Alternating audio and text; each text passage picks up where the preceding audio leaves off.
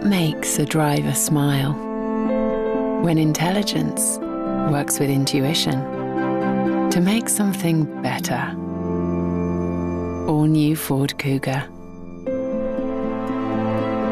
The smart utility vehicle.